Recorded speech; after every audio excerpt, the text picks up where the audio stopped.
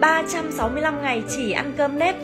Cùng mình xem hôm nay chúng ta sẽ được ăn nếp gì nhá. Mùa này vừa gặt xong Nên gạo nếp tan bản lang mà kết hợp với ngô núi non thì ngon phải biết. Ngô chỉ cần thái mỏng đều như thế này này Rồi đem trộn lẫn với gạo đã ngâm. Người thái ở bản mình á Đến bây giờ vẫn giữ được nét truyền thống là đồ xôi bằng trọ gỗ. Wow! Trời ơi!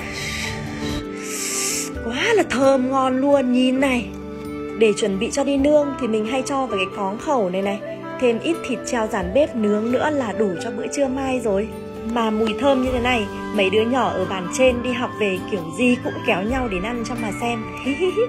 Hôm nay đi thăm nương ngô bên này Đang thì con gái cả nhà Mưa nhiều nên cỏ mọc um tùm quá. Phát hết chỗ này chắc phải mất cả mấy ngày trời.